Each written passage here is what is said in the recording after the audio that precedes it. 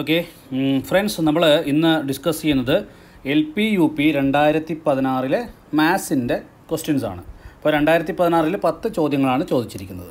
Okay അപ്പോൾ നമുക്കതിന്റെ കൺസെപ്റ്റും short ട്രിക്സും എല്ലാം നമുക്ക് ഡിസ്കസ് ചെയ്യാം. So will go to question number one okay അപ്പോൾ ഒന്നാമത്തെ ചോദ്യത്തിലേക്ക് പോകാം. എന്താ പറഞ്ഞിരിക്കുന്നത്?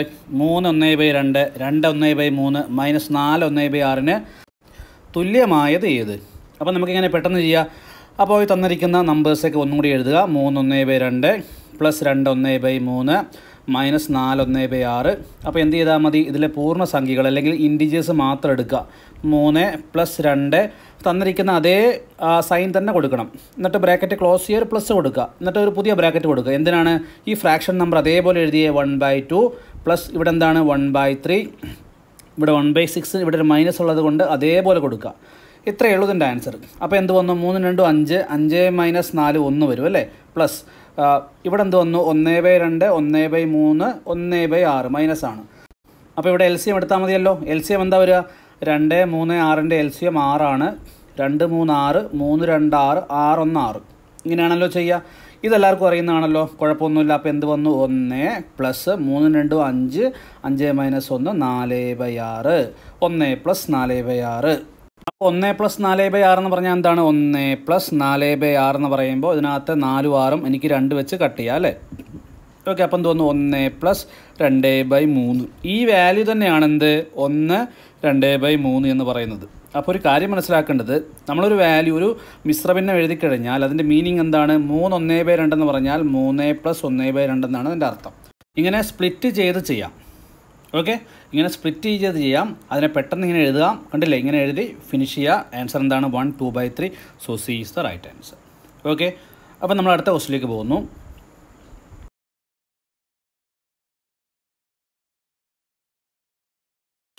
അപ്പോൾ അടുത്ത ചോദ്യം ഇതാണ്. സംഖ്യാരേഖ. സംഖ്യാരേഖ എന്ന് പറയുമ്പോൾ എന്താണ്? നമ്പർ ലൈനാണ് ഇങ്ങനെ നമ്പർ ലൈൻ ഉണ്ടാവും. ഈ നമ്പർ ലൈന് ഒരു പോയിന്റിൽ സീറോ നമുക്ക് അങ്ങോട്ട് പോകുമ്പോൾ വണ്ണ് ടു ഇങ്ങനെ പോകും. ഇങ്ങോട്ട് വരുമ്പോൾ എന്താണ്? മൈനസ് വണ്ണ് മൈനസ് ടു ഇങ്ങനെ പോകുന്നതാണല്ലോ നമ്പർ ലൈൻ ആ നമ്പർ ലൈനിൽ രണ്ട് സ്ഥാനം തന്നിട്ടുണ്ട്. അതിലൊരു നമ്പർ മൂന്ന് ബൈ അഞ്ച് ഒരു നമ്പർ മൂന്ന് ബൈ നാല്. ഇതിന്റെ ഇടയിൽ വരാത്തത് ഏതെന്നാണ് ചോദിച്ചത്. വരാത്ത ഭിന്നകം ഏതെന്നാണ് പറഞ്ഞിരിക്കുന്നത്. അപ്പോൾ കൺഫ്യൂഷൻ ആവരുത് ക്വസ്റ്റ്യൻ നോക്കുമ്പോൾ ഓക്കെ അപ്പോൾ നമുക്ക് ഇങ്ങനെ ചെയ്യാം. മൂന്ന് ബൈ അഞ്ചിനെ ദശാംശ സംഖ്യയാക്കി മാറ്റാം. ഓക്കെ അഞ്ച് കൊണ്ട് ഒരു സംഖ്യയെ ഡിവൈഡ് ചെയ്യാൻ പറഞ്ഞു കഴിഞ്ഞാൽ ഇതിന്റെ ഇരട്ടി എടുത്തിട്ട് ഒരു ഡെസിമൽ പോയിന്റ് അകത്തേക്ക് കൊടുത്താൽ മതി. കണ്ടില്ലേ? ഇതിന്റെ ഇരട്ടി എടുക്കാം മൂന്നിന്റെ ഇരട്ടി എടുത്തിട്ട് ഒരു ഡെസിമൽ പോയിന്റ് അകത്തേക്ക് കൊടുക്കുക. അപ്പോൾ പോയിന്റ് സിക്സ് ആണ്. അപ്പോൾ ത്രീ ബൈ ഫോർ എന്ന് പറയുമ്പോൾ എന്താണ്? ത്രീ ബൈ ഫോർ എന്ന് പറയുമ്പോൾ നമുക്ക് ചെയ്ത് നോക്കാം. ഏഴ് നാല് ഇരുപത്തിയെട്ട് രണ്ട് ബാക്കിയല്ലേ വീണ്ടും പൂജ്യം അഞ്ച് നാല്. ഇപ്പം സീറോ പോയിന്റ് സിക്സിന്റെയും സീറോ പോയിന്റ് സെവൻ ഫൈവിന്റെയും ഇടയിൽ വരാത്തത് ഏതെന്നാണ് കണ്ടുപിടിക്കേണ്ടത്? അപ്പോൾ പെട്ടെന്ന് കണ്ടുപിടിക്കാം. നമുക്ക് അഞ്ച് കൊണ്ട് ഡിവൈഡ് ചെയ്യുന്ന സംഖ്യയൊക്കെ വളരെ ഈസി ആയിട്ട് നമുക്ക് കിട്ടും. നമുക്ക് അഞ്ച് കൊണ്ട് ഒരു സംഖ്യ ഡിവൈഡ് ചെയ്യുകയാണെങ്കിൽ നമ്മൾ എന്ത് ചെയ്താൽ മതി? ഇതിന്റെ ഇരട്ടി എടുത്തിട്ട് ഒരു ഡെസിമൽ പോയിന്റ് ഇട്ട് കൊടുത്താൽ മതി. ഓക്കെ അപ്പോൾ ഇതിന്റെ ഇടയിൽ വരാത്തെന്ന് പറയുമ്പോൾ നോക്കൂ പോയിന്റ് എട്ട് എന്ന് പറയുമ്പോൾ ഇതിന്റെ വെളിയിലാണ് വരുന്നത് അല്ലേ? സീറോ പോയിന്റ് സെവൻ ഫൈവിന്റെ വെളിയിലാണ് സീറോ പോയിന്റ് എയ്റ്റ് വരുന്നത്. അപ്പോൾ ഇത് തന്നെയാണ് കറക്റ്റ് ആൻസർ എന്ന് ഒറ്റയടിക്ക് കിട്ടി. ഓക്കെ നമുക്ക് എല്ലാം ഒന്ന് ചെക്ക് ചെയ്ത് നോക്കാം. എന്താണ്? രണ്ട് ബൈ മൂന്ന്. നോക്കുക അടിയിൽ മൂന്ന് വരികയാണ് അല്ലെങ്കിൽ ഒമ്പത് വരികയാണെങ്കിൽ വളരെ എളുപ്പത്തിൽ അതിന്റെ ദശാംശ സംഖ്യ കണ്ടുപിടിക്കാം. എന്താണ് രണ്ട് ബൈ മൂന്ന് വരികയാണെങ്കിൽ നമ്മൾ എന്ത് ചെയ്താൽ മതി? അടിയിൽ ഒമ്പത് വരാൻ എന്ത് ചെയ്യണം? അടിയിൽ ഒമ്പത് വരാൻ നമ്മൾ മൂന്ന് കൊണ്ട് മൾട്ടിപ്ലൈ ചെയ്യണം അല്ലേ? അപ്പോൾ ആറ് ബൈ ഒമ്പത് എന്ന് പറഞ്ഞു കഴിഞ്ഞാൽ ഇത് റിക്കറിങ് ഡെസിമൽ നമ്പേഴ്സാണ് ആവർത്തിക്കുന്ന ഡെസിമൽ നമ്പറാണ് അടിയിൽ ഒമ്പത് വരികയാണെങ്കിൽ നോക്കൂ മുകളിൽ എന്താണോ സംഖ്യ ആ സംഖ്യ ഇങ്ങനെ റിക്കർ ചെയ്തുകൊണ്ടിരിക്കും ആവർത്തിച്ചു കൊണ്ടേയിരിക്കും zero point six six six ഇങ്ങനെ വന്നുകൊണ്ടേയിരിക്കും. ക്ലിയർ അല്ലേ? അപ്പോൾ ഈ നമ്പർ എന്തായാലും സീറോ പോയിന്റ് സിക്സിന്റെ ഉള്ളിലായിരിക്കുമല്ലോ. അപ്പോൾ ഇതും അതിന്റെ അകത്ത് വരുന്ന നമ്പറാണ് ഇനി അഞ്ച് ബൈ ഏഴും അഞ്ച് ബൈ എട്ടും നിങ്ങൾ എന്ത് എന്ത് ചെയ്യുക? സാധാരണ പോലെ അതിന്റെ ദശാംശ സംഖ്യ കണ്ടുപിടിക്കുക. അപ്പോൾ അടിയിൽ അഞ്ച് അടിയിൽ മൂന്ന് വരികയാണെന്നുണ്ടെങ്കിൽ വളരെ പെട്ടെന്ന് നമുക്ക് എഴുതാം എഴുതിയിട്ട് കണ്ടുപിടിക്കാം. ഓക്കെ ഈ ഈ ഒരു ഓപ്ഷൻ വെച്ചിട്ട് അല്ലെങ്കിൽ ഈ ഒരു നമ്പർ വെച്ചിട്ട് നമുക്ക് ഇങ്ങനെ ഇത് ചെയ്യാൻ പറ്റുള്ളൂ. അപ്പോൾ ഇവിടെ അഞ്ച് ബൈ ഏഴും നിങ്ങൾ അഞ്ച് ബൈ എട്ടും ചെയ്ത് നോക്കുക. ഇവിടെ വരാത്തത് നാല് ബൈ അഞ്ചാണ്. നാല് ബൈ അഞ്ച് പോയിന്റ് എട്ടാണ്. ഈ പോയിന്റ് എട്ട് സീറോ പോയിന്റ് സെവൻ ഫൈവിന്റെ വെളിയിലാണ് വരുന്നത്. ഓക്കെ നോക്കൂ അടുത്ത് നോക്കൂ. ഒന്ന് മൂന്ന് അഞ്ച് എന്ന സമാന്തര ശ്രേണി സമാന്തര ശ്രേണി എന്ന് പറയുമ്പോൾ അരിത്തമാറ്റിക് പ്രോഗ്രഷൻ അതിലെ മുപ്പത് പദങ്ങളുടെ തുക ചോദിച്ചു. ഓക്കെ ഇതിന് സമാന്തര ശ്രേണിയുടെ ഐഡിയ ഒന്നും ഇവിടെ ചെയ്യേണ്ട കാര്യമില്ല. കാരണം ഒന്ന് മൂന്ന് അഞ്ചെന്ന് പറയുമ്പോൾ എന്താണ്? ഒറ്റ സംഖ്യകളാണ്. ഒറ്റ സംഖ്യകളാണ്. അപ്പോൾ എത്ര ഒറ്റ സംഖ്യകളാണ് മുപ്പത് ഒറ്റ സംഖ്യകൾ എന്ന് പറയുന്നുണ്ട്. അപ്പോൾ മുപ്പത് ഒറ്റ സംഖ്യകളുടെ തുക കാണാൻ ഒരു ഇക്വേഷൻ ഉണ്ട്. എന്താണ്? എൻ സ്ക്വയർ എന്ന് പറഞ്ഞ ഇക്വേഷനാണ് അപ്പോൾ മുപ്പത് ഒറ്റ സംഖ്യകളാണെന്ന് പറയുന്നുണ്ട്. നമുക്ക് ഒന്നിലാണ് സ്റ്റാർട്ട് ചെയ്യുന്നത്. ഒന്നിലാണ് സ്റ്റാർട്ട് ചെയ്യുന്നെങ്കിൽ മാത്രമേ നമുക്ക് ഈ ഫോർമുല ഉപയോഗിക്കാൻ പറ്റുള്ളൂ. നോക്കൂ ഇവിടെ എന്താ സംഭവിച്ചിരിക്കുന്നത്? ഇവിടെ നമ്പർ സ്റ്റാർട്ട് ചെയ്യുന്ന ഒന്നില്ല ഒന്ന് മൂന്ന് അഞ്ചിലാണ് സ്റ്റാർട്ട് ഇങ്ങനെയാണ് പോകുന്നത്. അപ്പോൾ ഒന്നിൽ സ്റ്റാർട്ട് ചെയ്യുന്നു എന്ന് ഉറപ്പാണെങ്കിൽ നമുക്ക് ഈ ഫോർമുല യൂസ് ചെയ്യാം. അതർവൈസ് നമുക്ക് യൂസ് ചെയ്യാൻ പറ്റില്ല പക്ഷെ ഇവിടെ ഒന്നിലല്ലേ? അപ്പോൾ എൻ സ്ക്വയർ അപ്പോൾ എൻ സ്ക്വയർ എന്ന് പറയുമ്പോൾ എന്ത് വന്നു? എൻ സ്ക്വയർ എന്ന് പറയുമ്പം എൻ മുപ്പത് ഒറ്റ സംഖ്യകളുണ്ട്. അപ്പോൾ മുപ്പതിന്റെ സ്ക്വയർ എന്ത് വന്നു? തൊള്ളായിരമാണ് ഇവിടുത്തെ ശരിയായ ഉത്തരം. ഇപ്പോൾ കണ്ടില്ലേ ഇവിടെ നമ്മൾ വേറെ ടെക്നിക്കൊന്നും അപ്ലൈ ചെയ്യേണ്ട. എ പിയുടെ ടെക്നിക്കൊന്നും അല്ലെങ്കിൽ സമാന്തര ശ്രേണിയുടെ ഐഡിയ ഒന്നും അപ്ലൈ ചെയ്തിട്ടില്ല. ഇവിടെ നമ്മൾ ഒറ്റ സംഖ്യകളുടെ ഐഡിയ ആണ് യൂസ് ചെയ്തിരിക്കുന്നത്. ഒന്ന് മുതൽ ഒന്ന് മുതൽ ഒന്ന് മുതൽ കൗണ്ട് ചെയ്ത് പോകുമ്പോൾ ഒന്ന് മുതൽ വരുന്ന എൻ ഒറ്റ സംഖ്യകളുടെ തുക. എന്താ വരിക? എൻ സ്ക്വയർ ആണ്. അപ്പോൾ ഇവിടെ എന്താണ്? Thirty square nine hundred okay ഇവിടെ നമുക്ക് എ പിയുടെ കൺസെപ്റ്റും യൂസ് ചെയ്യാം. സമാന്തര ശ്രേണിയുടെ കൺസെപ്റ്റ് ഒന്ന് യൂസ് ചെയ്ത് നോക്കാം. അങ്ങനെയും ആൻസർ കിട്ടും. ഇവിടെ സമാന്തര ശ്രേണിയുടെ കൺസെപ്റ്റ് നമുക്ക് നോക്കാമല്ലോ സമാന്തര ശ്രേണി എന്ന് പറഞ്ഞാൽ എങ്ങനെ വരും? നോക്കൂ ആദ്യം ഒന്ന് പിന്നെ മൂന്ന് അഞ്ച്. ഇനി ആദ്യത്തെ മുപ്പത് ഒറ്റ സംഖ്യകൾ എന്ന് പറഞ്ഞാൽ എന്താണ്? നോക്കൂ ഒന്ന് മുതൽ ഒന്ന് രണ്ട് മൂന്ന് ഇങ്ങനെ അറുപത് വരെയുള്ള എണ്ണൽ സംഖ്യകളിൽ നമുക്കറിയാം മുപ്പത് ഒറ്റ സംഖ്യകളും കാണും മുപ്പത് ഇരട്ട സംഖ്യകളും കാണും. റെഡിയല്ലേ? അപ്പോൾ ഈ സംഖ്യ പറഞ്ഞിരിക്കുന്നത് ഒന്ന് മുതൽ അറുപത് വരെയുള്ള സംഖ്യകളുടെ ഇടയിലാണ് ഇത് വരുന്നത് അല്ലേ? നോക്കൂ ഒന്ന് മുതൽ അറുപത് വരെയുള്ള സംഖ്യകളിൽ മുപ്പത് ഓടും മുപ്പത് ഇവിടം കാണും. അപ്പോൾ ഒന്ന് മൂന്ന് അഞ്ച്. അപ്പോൾ അറുപതിൽ മുപ്പത് ഓടും മുപ്പത് ഇവിടം കാണും. അപ്പോൾ ഒന്ന് മുതൽ അറുപത് വരെയുള്ള സംഖ്യകളിലാണ് ഈ പറഞ്ഞ സമാന്തര ശ്രേണി വന്ന് പെടുന്നത് അല്ലേ? അപ്പോൾ അറുപതിന്റെ തൊട്ട് താഴെയുള്ള ഓട് നമ്പർ എത്ര അമ്പത്തി ഒമ്പതല്ലേ അപ്പോൾ ഒന്ന് മൂന്ന് അഞ്ച് ഇങ്ങനെ പോകുമ്പോൾ അവസാനത്തെ നമ്പർ എന്തായിരിക്കും? അൻപത്തി ഒമ്പതായിരിക്കും അപ്പോൾ ഇതെല്ലാം കൂടെ കൗണ്ട് ചെയ്യുമ്പോൾ നമുക്ക് എത്ര കിട്ടുന്ന പറഞ്ഞിരിക്കുന്നത് മുപ്പത് എന്താ പറഞ്ഞിരിക്കുന്നത് ഒറ്റ സംഖ്യയിലുണ്ടെന്നാണ് പറഞ്ഞിരിക്കുന്നത് ഇനി എ പിയുടെ സമ്മ് കാണാൻ വേറൊരു ഇക്വേഷൻ ഉണ്ട്. നിങ്ങൾക്ക് അതും ഇവിടെ യൂസ് ചെയ്യാം. അതും ഒന്ന് ഓർത്ത് വെച്ചേക്ക്. ഒരു എ പിയുടെ സമ്മ് കാണാനുള്ള ഇക്വേഷൻ എന്താണ് ടോട്ടൽ നമ്പർ എത്രയാണോ? അതേ by two into first number plus last നമ്പറാണ് ഉത്തരം. ഓക്കെ ടോട്ടൽ നമ്പർ എത്ര എണ്ണം ഉണ്ട്? മുപ്പത്. മുപ്പത് ബൈ രണ്ട് ഇന്റു ഫസ്റ്റ് നമ്പർ എത്രയാ? ഒന്ന്. ഒന്നല്ലേ ആദ്യത്തെ നമ്പർ ലാസ്റ്റ് നമ്പർ അൻപത്തി ഒൻപത് കണ്ടില്ലേ? അപ്പോൾ എന്ത് വന്നു? അറുപത് ഇന്റു പതിനഞ്ച്. അറുപത് ഇന്റു പതിനഞ്ച് എന്ന് പറയുമ്പോൾ എത്രയാ? തൊള്ളായിരം ഇസ് ദ റൈറ്റ് ആൻസർ അപ്പോൾ രണ്ട് രീതിയിലും ചെയ്യാം. ഈ ഒരു പ്രോളത്തിനകത്ത് ഈ ഒരു എൻ എൻ സ്ക്വയറിന്റെ ഈക്വേഷന്റെ ആവശ്യം മാത്രമേ ഉള്ളൂ എന്ന് മനസ്സിലാക്കുക. ഓക്കെ അടുത്ത പ്രോളത്തിലേക്ക് പോകുന്നു. ഓക്കെ അടുത്ത കൃത്യങ്കങ്ങളുമായി ബന്ധപ്പെട്ട ഒരു ചോദ്യമാണ്. നമുക്ക് one by two the whole square one by sixty four whole raise to one by three minus thirty two whole raise to minus one by five ആണ്. അപ്പോൾ ഇങ്ങനത്തെ ക്വസ്റ്റ്യൻ കിട്ടിക്കഴിഞ്ഞാൽ ആദ്യം മനസ്സിലാക്കേണ്ടത് ടു റേസ് ടു ഫൈവ് എന്ന് പറഞ്ഞാൽ മുപ്പത്തിരണ്ടാണെന്ന് മനസ്സിലാക്കുക. രണ്ടിനെ അഞ്ച് തവണ ഗുണിച്ച് നോക്കൂ. ഇതൊന്ന് ബൈഹാർട്ട് ചെയ്ത് വെക്കേണ്ട ഒരു വാല്യൂ ആണ്. ടു റേസ് ടു ഫൈവ് എന്ന് പറയുമ്പോൾ മുപ്പത്തിരണ്ട്. ഈ മുപ്പത്തിരണ്ടിനെ ഒരു തവണ കൂടി രണ്ട് കൊണ്ട് ഗുണിച്ച് കഴിഞ്ഞാൽ ഒരു തവണ കൂടി രണ്ട് കൊണ്ട് ഗുണിച്ച് കഴിഞ്ഞാൽ നമുക്ക് എന്ത് കിട്ടും? അറുപത്തിനാല് കിട്ടും. അപ്പോൾ എന്താണ്? ടു റേസ് ടു സിക്സ് ആണ് സിക്സ്റ്റി ഫോർ അപ്പോൾ ഈ വാല്യൂ ഒന്ന് ബൈഹാർട്ട് വെച്ച് കഴിഞ്ഞാൽ ടൂവിന്റെ ടൂവിന്റെ പവറായിട്ട് ലഭിക്കുന്ന അത്യാവശ്യം സംഖ്യകളെല്ലാം നമുക്ക് എഴുതാൻ പറ്റും. ഇപ്പോൾ one by two whole square ഞാൻ ഒന്നുകൂടി എഴുതുകയാണ്. One by two whole square one plus ഉണ്ട്. One by sixty four sixty ഫോറിന് ഞാൻ എന്ത് എഴുതാം ടു റേസ് ടു സിക്സ് എന്ന് എഴുതിക്കൂടെ? Two raise to സിക്സിന്റെ whole raise to one by three എന്ന് എഴുതാം. മൈനസ് തേർട്ടി ടുവിന് എനിക്ക് എന്ത് എഴുതാം ടു റേസ് ടു ഫൈവ് എന്ന് എഴുതിക്കൂടെ? Two raise to five whole raise to minus ഉണ്ട് അവിടെ. നമുക്ക് ഇവിടെ ഒരു മൈനസ് ഉണ്ട്. കണ്ടോ മൈനസ് ഉണ്ട്. അപ്പോൾ എന്ത് വന്നു? ഈ അഞ്ചും അഞ്ചും എനിക്ക് കട്ട് ചെയ്ത് കളയാം. ഇതല്ലേ നമ്മൾ കൃത്യങ്ങളുടെ നിയമം? നമുക്ക് A raise to M into whole raise to N തരികയാണെന്നെങ്കിൽ A raise to M into N എന്ന് എഴുതാൻ പറ്റും. ഇത് കൃത്യങ്ങളിലെ നിയമമാണ്. ഇത് പഠിക്കേണ്ട ഒരു നിയമമാണ്. ഇത് നമുക്കറിയുന്ന കാര്യമാണ്. അപ്പോൾ എന്ത് വന്നു? ഈ വണ്ണ് വണ്ണിന്റെ നമുക്ക് one by two whole square എന്ന് പറയുമ്പോൾ എന്താണ്? വൺ ബൈ ഫോർ ആണ് അല്ലേ? വൺ ബൈ ഫോർ ആണ് അല്ലേ? എന്താ എങ്ങനെ വൺ ബൈ ഫോർ വന്നിരിക്കുന്നത് നോക്കൂ. വണ്ണിന്റെ സ്കോർ എടുക്കണം. അതുപോലെ തന്നെ ടൂവിന്റെ സ്കോർ അതല്ലേ ഹോൾ എന്ന് പറഞ്ഞാൽ അതിന്റെ അർത്ഥമല്ലേ മുകളിലുള്ളതിന്റെയും താഴെയുള്ളതിന്റെയും സ്കോർ എടുക്കണം. അപ്പോൾ നോക്കൂ one raise to one by three one raise to one by three one വരികയാണെങ്കിൽ പിന്നെ നോക്കുക അതിന്റെ പവർ എന്ത് തന്നെയാണെങ്കിലും എന്തായിരിക്കും? വൺ ആയിരിക്കും. ഓക്കെ വണ്ണിന്റെ പവർ സീറോ ആണെങ്കിലും വണ്ണ് തന്നെയാണ് ഓക്കെ അപ്പോൾ വണ്ണിന്റെ പവർ എന്ത് തന്നെ വന്നു കഴിഞ്ഞാലും അത് വണ്ണ് തന്നെ ലഭിക്കുകയുള്ളൂ.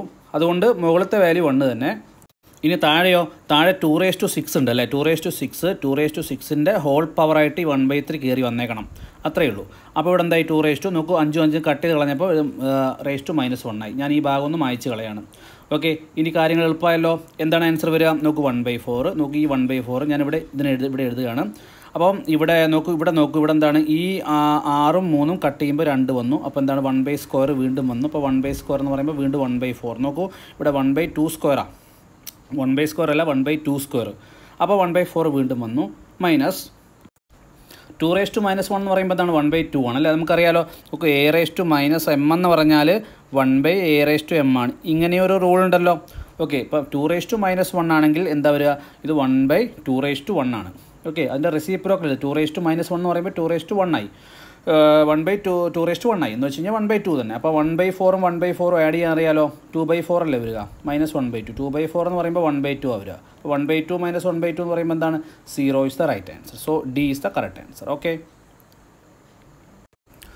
നോക്കൂ അടുത്ത് നോക്കൂ. പഞ്ചസാരയുടെ വില ഇരുപത്തിയഞ്ച് ശതമാനം വർദ്ധിക്കുന്നു. ഓക്കെ പഞ്ചസാരയുടെ വില ഇരുപത്തിയഞ്ച് ശതമാനം വർദ്ധിക്കുന്നു. ഒരാളുടെ ചിലവ് വർദ്ധിക്കാതിരിക്കാൻ പഞ്ചസാരയുടെ ഉപ ഉപ ഉപഭോഗം എത്ര ശതമാനം കുറക്കണം? എന്ന് വെച്ചാൽ എന്താണ്? പെട്ടെന്ന് ഒരു സുപ്രഭാതത്തിൽ പഞ്ചസാര അല്ലെങ്കിൽ ഷുഗറിന്റെ വില കൂടി. എത്ര ശതമാനം കൂടി? ട്വന്റി ഫൈവ് പെർസെന്റേജ് കൂടി എന്നാണ് പറയുന്നത്. ഓക്കെ ട്വന്റി ഫൈവ് പെർസെന്റേജ് കൂടുമ്പോൾ അദ്ദേഹത്തിന് ആ കൂടിയ വിലക്കനുസരിച്ച് ചിലവാക്കാൻ അദ്ദേഹത്തിന്റെ കയ്യിൽ പണമില്ല. അപ്പോൾ എന്ത് ചെയ്താൽ മതി അദ്ദേഹം? അദ്ദേഹത്തിന്റെ ഉപയോഗം അല്ലെങ്കിൽ ഉപഭോഗം കുറച്ചാൽ മതി. ആ ഉപഭോഗം എത്ര ശതമാനം കുറക്കണമെന്നാണ് ചോദിച്ചിരിക്കുന്നത്. അതായത് പഞ്ചസാരയുടെ വില ഇരുപത്തിയഞ്ച് ശതമാനം കൂടി ആ അപ്പോൾ നമ്മൾ അയാൾ എന്ത് ചെയ്യണം? അയാൾ ഉപയോഗം കുറക്കണം. അല്ലെങ്കിൽ ഉപഭോഗം കുറക്കണം. എത്ര പെർസെന്റേജ് ഉപഭോഗം കുറക്കണം എന്നാണ് ചോദിച്ചിരിക്കുന്നത് ഓക്കെ അപ്പം എങ്ങനെ ഇത് കണ്ടുപിടിക്കുക അതായത് അദ്ദേഹത്തിന് ചിലവ് വർദ്ധിക്കാൻ പാടില്ല. അതായത് ഒരു മന്ത്ലി എക്സ്പെൻസ് മൊത്തത്തിൽ കാണുമല്ലോ. അത് വർദ്ധിക്കാതെ അദ്ദേഹത്തിന്റെ പഞ്ചസാരയുടെ വില വർദ്ധിപ്പിച്ച് വർദ്ധിപ്പിച്ചപ്പോൾ അദ്ദേഹത്തിന്റെ ഉപഭോഗം കുറക്കുന്നത് എത്ര ശതമാനമാണെന്ന് ചോദിച്ചു കഴിഞ്ഞാൽ വളരെ ഈസിയായിട്ട് കണ്ടുപിടിക്കാം. ഇങ്ങനത്തെ ക്വസ്റ്റ്യൻ ചോദിക്കുകയാണെന്നുണ്ടെങ്കിൽ ആദ്യം നോക്കേണ്ടത് ട്വന്റി ഫൈവ് പെർസെന്റേജ് നോക്കും ഇവിടെ പ്രൈസ് പഞ്ചസാരയുടെ പ്രൈസ് ഇൻക്രീസിങ് ആണ് അല്ലേ? ട്വന്റി ഫൈവ് പെർസെന്റ് ഇൻക്രീസിങ് ആണ്.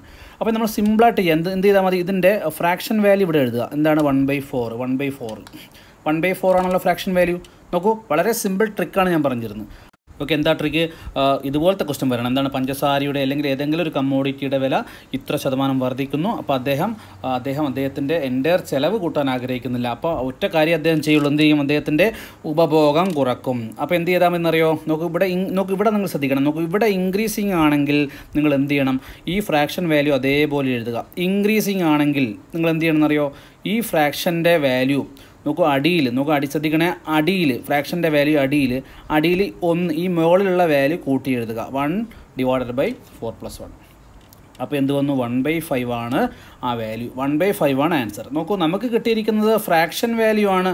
ഫ്രാക്ഷൻ വാല്യൂവിനെ പെർസെന്റേജ് ആക്കണമെങ്കിൽ നമ്മൾ എന്ത് ചെയ്യണം? നൂറ് കൊണ്ട് ഗുണിക്കണം. അപ്പോൾ എന്താ answer twenty percentage is right answer okay അപ്പോൾ ഞാനിവിടെ എന്താ ചെയ്തത്? വൺ ബൈ ഫോറിനെ ഞാൻ അതേപോലെ എഴുതി. നോക്കൂ അടിയിൽ ഒന്ന് കൂട്ടണം. എന്തിനാ ഈ ഒന്ന് കൂട്ടുന്നത്? നോക്കൂ മുകളിലുള്ള വാല്യൂ എന്താണോ അത് അടിയിലുള്ള വാല്യൂവിന്റെ കൂടെ ആഡ് ചെയ്യണം. അപ്പോൾ വൺ ബൈ ഫൈവ് വരും. ഇന്റു ഹൺഡ്രഡ് ട്വന്റി പെർസെന്റേജ് ഉപഭോഗം കുറക്കണം. ഓക്കെ ട്വന്റി ഫൈവ് പെർസെന്റേജ് പഞ്ചസാരയുടെ വില കൂടുമ്പോൾ ട്വന്റി പെർസെന്റേജ് ഉപഭോഗം കുറക്കണം.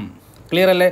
ഇനി ഇവിടെ ഇനി ഇവിടെ നോക്ക് ഇവിടെ ഡിക്രീസിങ് ആണ്. നോക്ക് ഈ ഭാഗത്ത് ഡിക്രീസിങ് ആണ് തന്നെങ്കിൽ എന്ത് ചെയ്യും? ഡിക്രീസിങ് ഡിക്രീസിങ് ആണെങ്കിൽ എന്ത് ചെയ്യും? നോക്ക് ഇവിടെ വൺ ബൈ ഫോർ ആണല്ലോ വൺ ബൈ ഫോർ ആണല്ലോ. അപ്പോൾ അടിയിൽ എന്ത് ചെയ്യും? അടിയിൽ ഈ ഒന്ന് കുറക്കുകയാണ് വേണ്ടത്. കണ്ടില്ലേ? ഇവിടെ ഡിക്രീസ് ഡിക്രീസിങ് ആണെങ്കിൽ ഇവിടെ ഡിക്രീസ് ചെയ്യുക. ഇവിടെ ഇൻക്രീസിങ് ആണെങ്കിൽ ഇവിടെ ഇൻക്രീസ് ചെയ്യുക. എന്ന് വെച്ച് കഴിഞ്ഞാൽ മുകളിലത്തെ എന്താണോ വാല്യൂ അത് അതിന്റെ കൂടെ കൂട്ടി എഴുതുക. അത്രയേ ഉള്ളൂ. ഒന്ന് രണ്ട് എക്സാമ്പിൾ നിങ്ങൾ ചെയ്ത് നോക്കുക. നിങ്ങൾക്ക് പെട്ടെന്ന് ആൻസർ കിട്ടും. താഴെ പറയുന്നവയിൽ ആറാമത്തെ ക്വസ്റ്റ്യൻ താഴെ പറയുന്നവയിൽ മട്ടത്രികോണിന്റെ വശങ്ങളാകാത്തവ ഏത് മട്ടത്രികോൺ എന്ന് പറയുമ്പോൾ എന്താണ്? റൈറ്റ് ആംഗിൾ ട്രയാങ്കിൾ അല്ലേ? റൈറ്റ് ആംഗിൾ ട്രയാങ്കിളിന്റെ ഈ വലിയ നീളത്തെ നമ്മൾ വിളിക്കുന്നു ഹൈപ്പോട്ടന്യൂസ് ഹൈപ്പോട്ടന്യൂസ് എന്ന് പറയുന്നു. ഇതിനെ നമ്മൾ എന്ത് വിളിക്കുന്നു? ലംബം എന്ന് പറയുന്നു. ലംബം എന്ന് പറയുന്നു. ഇതിനെ നമ്മൾ പാദം ബേസ് ഇതിനെ നമ്മൾ പെർപെൻഡിക്കുലർ എന്ന് പറയുന്നു. പെർപെൻഡിക്കുലർ ഇതിനെ നമ്മൾ ബേസ് എന്ന് വിളിക്കുന്നു. ഇതിനെ നമ്മൾ എന്ത് പറയുന്നു? ഹൈപ്പോട്ടന്യൂസ് അല്ലെങ്കിൽ കർണം കണ്ടില്ലേ? കർണം അപ്പോൾ ഈ ഹൈപ്പോട്ടിന്യൂസ് എപ്പോഴും വലുതായിരിക്കും നമുക്കറിയാം. പാദത്തേക്കാൾ ലംബത്തേക്കാൾ വലുതായിരിക്കും എപ്പോഴും അതിന്റെ കർണത്തിന്റെ ലെങ്ത് അപ്പോൾ നമുക്ക് ഒന്നാമത്തെ ക്വസ്റ്റ്യൻ നോക്കാം. ഇതിനൊരു ഇക്വേഷൻ ഉണ്ടല്ലോ. അപ്പോൾ ഹൈപ്പോട്ടിന്യൂസിനെ ഞാൻ എച്ച് എന്നും പെർപെൻഡിക്കുലറിനെ പി എന്നും ബേസിനെ ബി എന്നും വിളിക്കുകയാണെന്നുണ്ടെങ്കിൽ നമുക്ക് ഇങ്ങനൊരു ഇക്വേഷൻ ഉണ്ട്. എന്താണ്? ഹൈപ്പോട്ടിന്യൂസിന്റെ സ്ക്വയർ ഈക്വൽ ടു പെർപെൻഡിക്കുലറിന്റെ സ്ക്വയർ പ്ലസ് ബേസിന്റെ സ്ക്വയർ നോക്കൂ അതിൽ ഈ മൂന്ന് നാല് അഞ്ച് എന്നൊക്കെ പറഞ്ഞു കഴിഞ്ഞാൽ ബേസിക് ആയിട്ടുള്ള പൈത്തഗോറിയന്റെ ട്രിപ്ലറ്റ് ആണ് ഉണ്ടല്ലേ ഇങ്ങനെ ഈ നമ്പേഴ്സ് കറക്റ്റ് സാറ്റിസ്ഫൈ ചെയ്യുന്ന മൂന്ന് നമ്പറുകളെ നമ്മൾ വിളിക്കുന്നതാണ് പൈത്തഗോറിയൻ ട്രിപ്ലറ്റ് കേട്ടോ? ട്രിപ്ലറ്റ് പൈത്തഗോറിയൻ ട്രിപ്ലറ്റ് ഇതിൽ മൂന്ന് നാല് അഞ്ച് എന്നൊക്കെ പറഞ്ഞാൽ ബേസിക് ആയിട്ടുള്ള പൈത്തഗോറിയൻ ട്രിപ്ലറ്റ് ആണ്. അപ്പോൾ അത് മട്ടത്രികോണിന്റെ വശങ്ങളാണ്. നോക്കൂ നമുക്ക് ഒന്നാമത്തെ ഓപ്ഷൻ നോക്കാം. ഒന്ന് രണ്ട് മൂന്നല്ലേ ഇപ്പോൾ ഏറ്റവും വലിയ സംഖ്യ എന്തായിരിക്കും? ഹൈപ്പോട്ടിന്യൂസ് ആയിരിക്കും. അപ്പോൾ ഒന്ന് പെർപെൻഡിക്കുലറും ഒന്ന് ബേസ് ആക്കി എടുക്കുക. കണ്ടില്ലേ? എടുക്കുക. അപ്പോൾ ഇത് സ്ക്വയർ ചെയ്തിട്ട് എടുക്കുക. സ്ക്വയർ ചെയ്യുക. വണ്ണിനെ സ്ക്വയർ ചെയ്യുക. ബേസിനെ സ്ക്വയർ ചെയ്യുക. എന്നിട്ട് മൂന്ന് സ്ക്വയർ ചെയ്ത് മൂന്ന് സ്ക്വയർ കിട്ടുന്നുണ്ടോ? വൺ സ്ക്വയർ എന്ന് പറയുമ്പോൾ വൺ ആണ്. ടു സ്ക്വയർ ഫോർ ആണ്. ത്രീ സ്ക്വയർ എന്ന് പറയുമ്പോൾ ഒമ്പതാണ്. കിട്ടുന്നുണ്ടോ? കിട്ടുന്നില്ല. അപ്പോൾ എന്താണ്? ഈ വൺ ടു ത്രീ എന്ന് പറഞ്ഞാൽ ഒരു പൈത്തഗോറിയൻ ട്രിപ്ലറ്റ് അല്ല. വൺ ടു ത്രീ ഒരു പൈത്തഗോറിയൻ ട്രിപ്ലറ്റ് അല്ലെന്ന് ഉറപ്പിക്കാം. അത് കട്ട് ചെയ്ത് കളയാം. ഇപ്പോൾ ആകാത്തവയെന്നല്ലേ ചോദിച്ചത്? അപ്പോൾ ഒറ്റയടിക്ക് ആൻസർ കിട്ടി. A is the right answer okay നമുക്ക് അടുത്ത ഓപ്ഷനിലേക്ക് പോകാം. വൺ വൺ റൂട്ട് ടു നമുക്ക് വണ്ണ് വണ്ണ് റൂട്ട് ടു അപ്പോൾ എന്താ ചെയ്യേണ്ടത്? ഇതിന്റെ സ്ക്വയർ എടുക്കുക. ഇതിന്റെ സ്ക്വയർ എടുക്കുക. ഇതിന്റെ സ്ക്വയർ റൂട്ട് ടുവിന്റെ സ്ക്വയർ എന്ന് പറയാൻ എന്താണ്? റൂട്ടിന്റെ സ്ക്വയർ എപ്പോഴും അതേ വാല്യൂ തന്നെ ലഭിക്കുക. റൂട്ട് ടു എന്ന് പറയുമ്പോൾ ടു തന്നെ അല്ലേ ഓക്കെ റൂട്ട് ത്രീയുടെ സ്ക്വയർ എന്ന് പറയുമ്പോൾ എന്താണ്? ത്രീ ആ ലഭിക്കുക. അതറിയാലോ? ഇനി ഒന്ന് ആഡ് ചെയ്ത് ആഡ് ചെയ്യുമ്പോൾ കിട്ടുന്നുണ്ടോ? അപ്പോൾ one plus one is equal to കിട്ടുന്നുണ്ട്. ഡെഫിനറ്റ്ലി ഇതൊരു പൈത്തഗോറിയൻ ട്രിപ്ലറ്റ് ആണ്. അടുത്ത ബി ബി ഓപ്ഷനിലേക്ക് നമുക്ക് പോകാം. ബി ഓപ്ഷൻ എന്ന് പറയുമ്പോൾ എന്താണ്? ഒന്ന് വണ്ണ് ഒന്ന് റൂട്ട് ത്രീ ഒന്ന് ടു ഏറ്റവും വലുത് രണ്ടായിരിക്കും. ഓക്കെ കാരണം റൂട്ട് ത്രീയുടെ വാല്യൂ എന്ന് പറയുമ്പോൾ വൺ പോയിന്റ് സെവൻ ത്രീയാണ് അപ്പോൾ നമുക്ക് ഇത് സ്ക്വയർ ചെയ്ത് കിട്ടുന്നുണ്ടോ നോക്കാം. വൺ സ്ക്വയർ എന്ന് പറയുമ്പോൾ വൺ ആണ്. റൂട്ട് ത്രീയുടെ സ്ക്വയർ എന്ന് പറയുമ്പോൾ ത്രീ തന്നെ ലഭിക്കും. രണ്ടിന്റെ സ്ക്വയർ നാല്. കിട്ടുന്നുണ്ടോ? വൺ പ്ലസ് ത്രീ ഫോർ കിട്ടുന്നില്ലേ? സോ ഇതും എന്താണ് ഒരു പൈത്തഗോറിയൻ ട്രിപ്ലറ്റ് ആണ്. ഇനി ലാസ്റ്റത്തെ നോക്കാമല്ലോ ത്രീ ഫോർ ഫൈവ് എന്താണ്?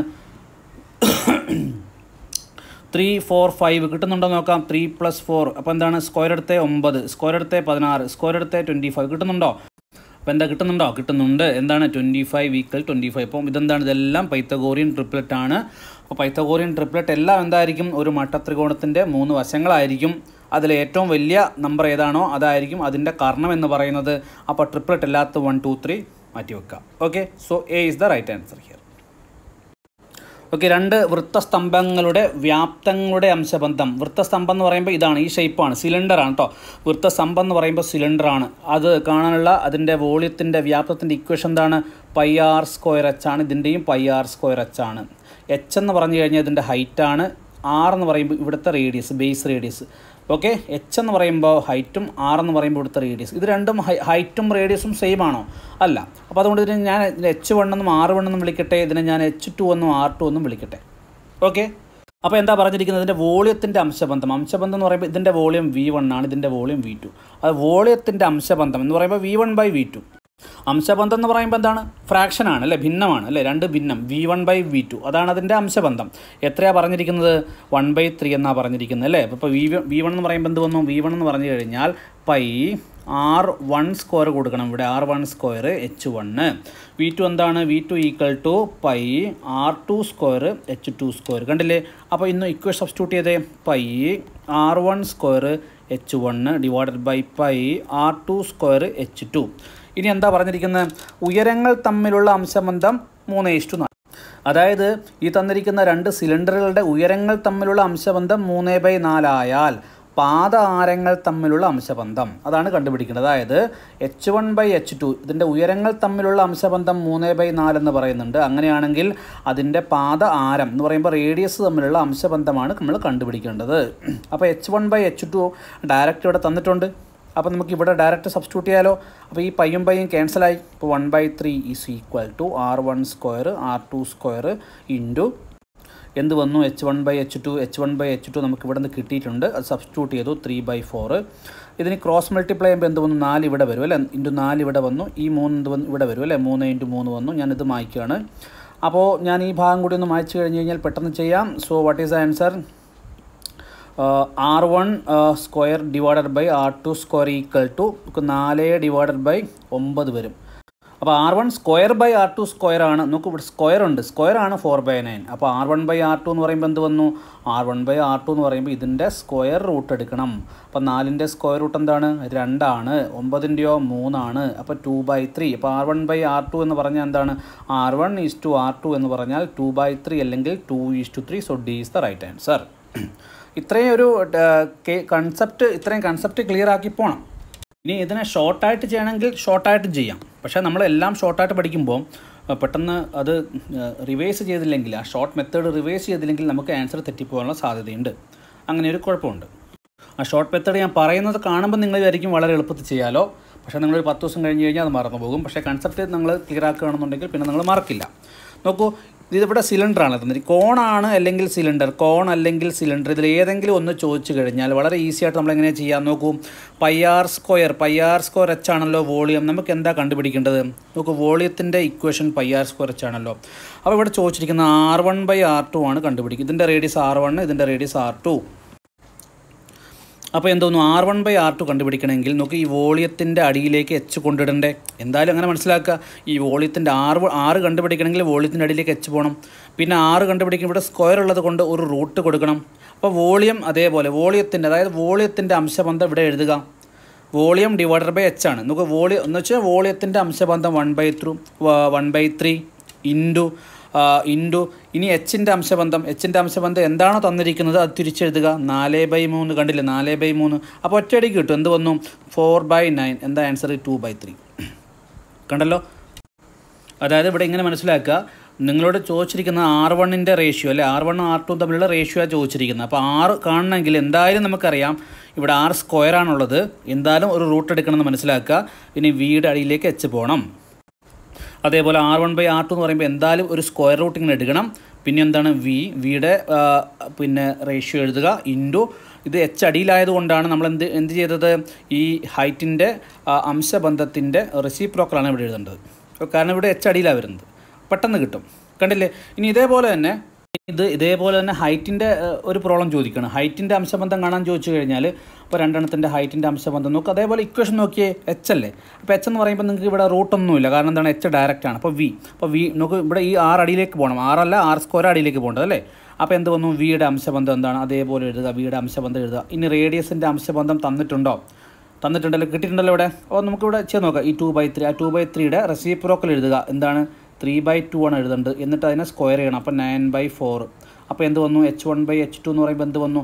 ഈ മൂന്നും ഇതും കട്ട് ചെയ്യുമ്പോൾ ത്രീ ബൈ ഫോർ വന്നു. കണ്ടില്ലേ? അതേ ക്വസ്റ്റ്യൻസിൽ ത്രീ ബൈ ഫോറിലേ തന്നിരിക്കുന്നത്. അതേപോലെ വന്നാൽ കണ്ടോ. ഓക്കെ കൂടുതൽ പറഞ്ഞു കഴിഞ്ഞാൽ കൺഫ്യൂഷൻ ആവും. അതുകൊണ്ടാണ് ഷോർട്ട് ട്രിക്സ് ഇത്രയേ ഉള്ളൂ. പെട്ടെന്ന് മനസ്സിലാക്കുക അല്ലെങ്കിൽ കൺസെപ്റ്റ് മനസ്സിലാക്കി ചെയ്യുക. അടുത്ത ക്വസ്റ്റിലേക്ക് പോകുന്നു. നോക്കി ഇതും വളരെ സിമ്പിളായിട്ട് ഓർക്കാൻ പറ്റുന്നൊരു ക്വസ്റ്റ്യൻ ആണ്. ഒരു സ്ഥാപനത്തിലെ പന്ത്രണ്ട് ജോലിക്കാരുടെ ശരാശരി പ്രായം ഫോർട്ടി ഫൈവ് ഇതിൽ അറുപത് വയസ്സുള്ള രാജനാണ് പിരിഞ്ഞു പോയത്. എന്നിട്ട് പകരം രഘു വന്നു. അപ്പോൾ അങ്ങനെ വന്നപ്പോൾ ശരാശരി നാൽപ്പത്തിരണ്ടായി മാറി. നോക്കി ഇനി ഇവിടെ എന്താ സംഭവിച്ചിരിക്കുന്നത്? റീപ്ലേസ്മെന്റ് ഒരാൾ പോയിട്ട് വേറൊരാൾ വരുന്നുണ്ട്. അപ്പോൾ റീപ്ലേസ് ചെയ്യുന്നുണ്ട് ആളെ വെച്ചിട്ടല്ലേ അപ്പോൾ അങ്ങനെ വരുമ്പോൾ വളരെ എളുപ്പത്തിൽ നമുക്ക് ചെയ്യാം. അപ്പോൾ ആദ്യം നിങ്ങൾ കൺസെപ്റ്റ് ആദ്യം ഒന്ന് എഴുതുക. എന്താണ്? പന്ത്രണ്ട് പേരുണ്ടായിരുന്നു. എന്താണ് പന്ത്രണ്ട് പേരുടെ ശരാശരി? ശരാശരി പ്രായം എന്ന് പറഞ്ഞാൽ നാൽപ്പത്തി അഞ്ചാണ് ഓക്കെ? അതിൽ ഒരാൾ പോയിട്ട് ഒരാൾ വന്നു. രാജനാണ് പോകുന്നത്. അല്ലെ? രാജനെ ഞാൻ ആർ ജെ എന്ന് വിളിക്കുകയാണ്. രാജൻ പോയി.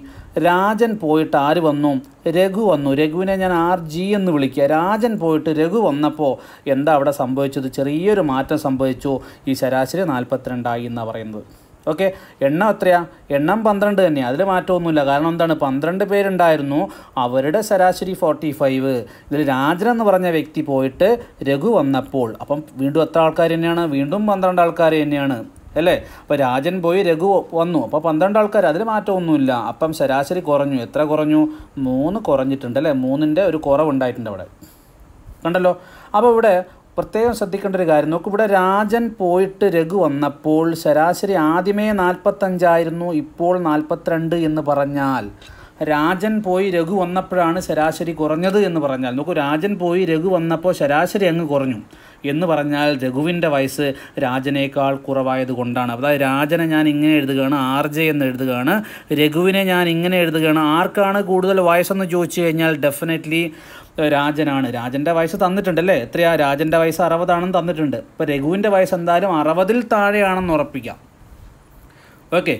അപ്പോൾ രജു രാജന്റെ വയസ്സാണല്ലോ കൂടുതൽ. അപ്പോൾ രാജന്റെ വയസ്സ് കൂടുതലായതുകൊണ്ട് രാജനെ ഞാൻ മുന്നിലെഴുതി. അപ്പോൾ രാജന്റെ വയസ്സ് കൂടുതലായതുകൊണ്ട് ഞാൻ രാജനെ മുന്നിലെഴുതി. ഓക്കെ. ഇനി ഇത്രയേ ഉള്ളൂ. സിമ്പിൾ ലോജിക്ക് രാജന്റെ വയസ്സായിരിക്കും കൂടുതൽ ഉറപ്പാണ്. അപ്പോൾ രാജന്റെ വയസ്സ് കൂടുതലായതുകൊണ്ട് Rajan minus Raghu is equal to എത്ര ആൾക്കാരവിടെ ഉണ്ടോ? ഇൻഡു എത്രയാണോ ശതമാനത്തിൽ വന്ന വ്യത്യാസം? മൂന്ന് ഗുണിച്ചാൽ മാത്രം മതി ആൻസറായി രാജന്റെ വയസ്സ് അറുപതാണെന്ന് നമുക്കറിയാം. ഇനി രഘുവിന്റെ വയസ്സ് കണ്ടുപിടിക്കണം. രഘുവിനെ ഞാൻ ആർ ജി എന്ന് വിളിച്ചോട്ടെ. പന്ത്രണ്ട് ഇന്റു മൂന്ന് മുപ്പത്താറ് വന്നു. ഇനി ഇത് ചെയ്യാൻ അറിയാലോ മുപ്പത്തിയാറിന് ലെഫ്റ്റിലേക്ക് കൊണ്ടുവരിക.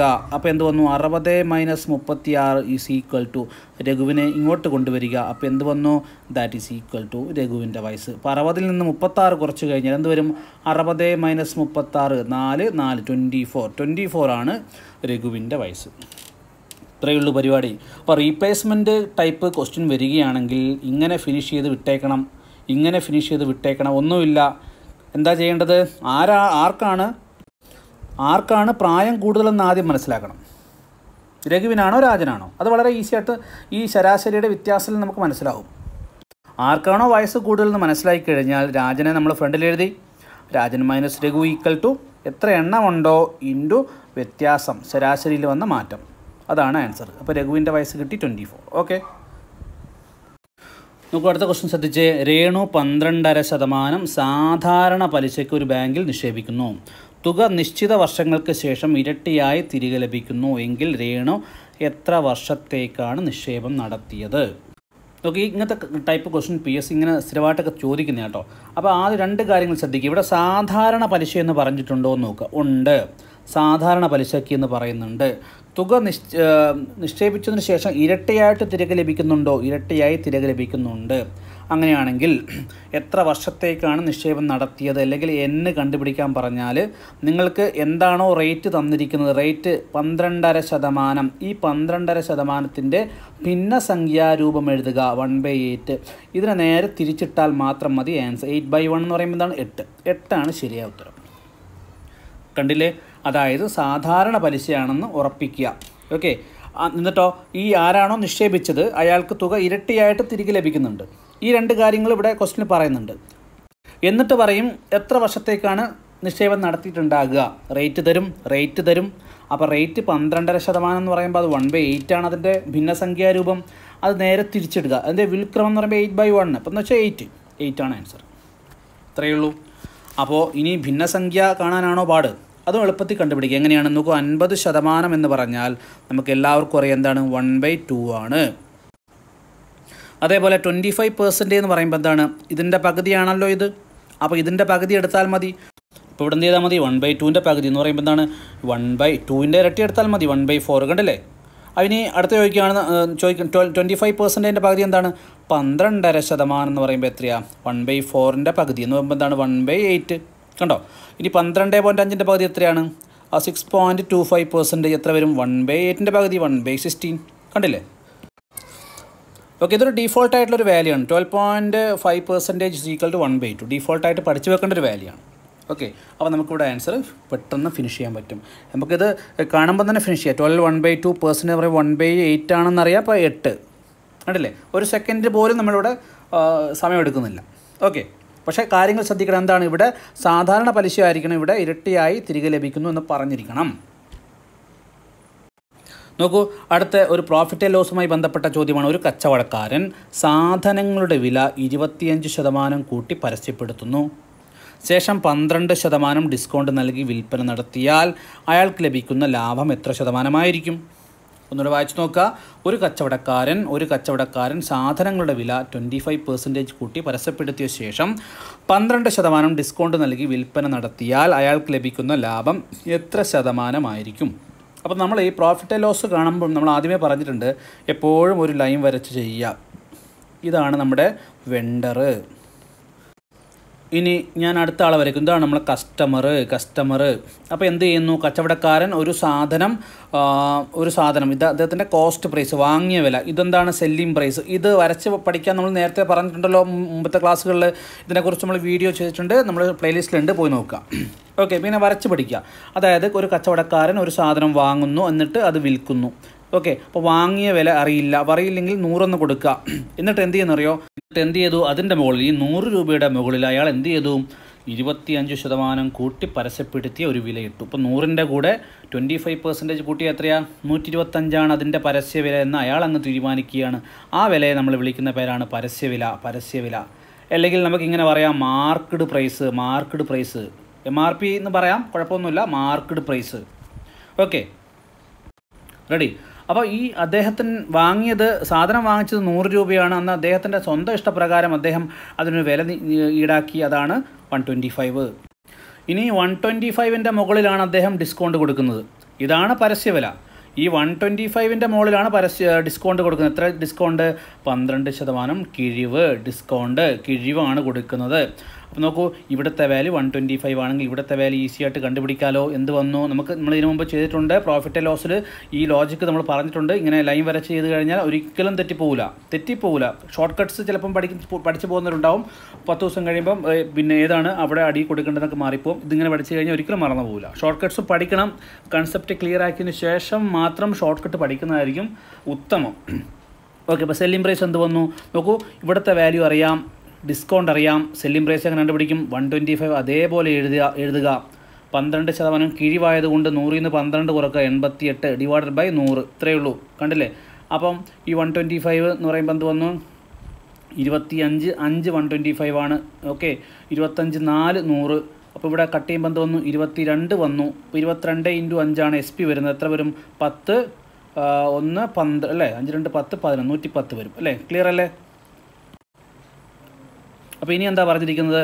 നൂറാണ് വാങ്ങിയ വില വിറ്റ വില നൂറ്റി പത്താണെങ്കിൽ പത്ത് ശതമാനമായിരിക്കും പ്രോഫിറ്റ് പത്ത് ശതമാനമായിരിക്കും പ്രോഫിറ്റ് ഓക്കെ ഇവിടെ ഡയറക്റ്റ്ലി നമ്മൾ നൂറാണ് കൊടുത്തത് അല്ലേ? ബേസ് അല്ലെങ്കിൽ നമ്മുടെ സി പി നൂറാണ് കൊടുത്തത് കൊണ്ട് പെട്ടെന്ന് തന്നെ നമുക്ക് ഇവിടെ വരുന്ന വാല്യൂ എന്താണോ? പത്ത്. പത്തല്ലേ എക്സ്ട്രാ വരുന്നത്. അതായിരിക്കും പ്രോഫിറ്റ് എന്ന് പറഞ്ഞാൽ പ്രോഫിറ്റ് പേഴ്സന്റേജ് എന്ന് പറഞ്ഞു കഴിഞ്ഞാൽ അത് തന്നെയായിരിക്കും. പ്രോഫിറ്റ് എന്ന് പറഞ്ഞാലും പത്തായിരിക്കും. പ്രോഫിറ്റ് പേഴ്സന്റേജ് എന്ന് പറയുമ്പോൾ പത്ത്. പത്ത് തന്നെയായിരിക്കും ലഭിക്കുക. ഓക്കെ അല്ലേ? ഓക്കെ അപ്പോൾ നമ്മൾ ഇന്ന് വൈൻഡപ്പ് ചെയ്യാണ്. നമ്മൾ അതേപോലെ തന്നെ പ്രിലിംസ് പോയിന്റ് ഓഫ് വ്യൂവിൽ സൂം ക്ലാസ്സുകൾ ആരംഭിക്കുകയാണ്. എല്ലാ സബ്ജക്റ്റിനും സൂം ക്ലാസ്സുകൾ ആരംഭിക്കുകയാണ് നിങ്ങൾക്ക് with P D F notes ആയിരിക്കും. താല്പര്യമുള്ളവർ താഴെ കമന്റ് ചെയ്യുക. നമ്മൾ നിങ്ങളെ കോൺടാക്ട് ചെയ്യുന്നതായിരിക്കും. ഓക്കെ സോ നമ്മളെ കോൺടാക്ട് ഡീറ്റെയിൽസ് ഒക്കെ നമ്മൾ ഡിസ്ക്രിപ്ഷനിൽ കൊടുത്തിട്ടുണ്ട്. നമ്മൾ ബന്ധപ്പെടുക. ഓക്കെ നമ്മൾ ഇന്ന് വൈൻഡപ്പ് ചെയ്യുന്നു. പുതിയ വീഡിയോയുമായി വീണ്ടും കാണാം. Thank so much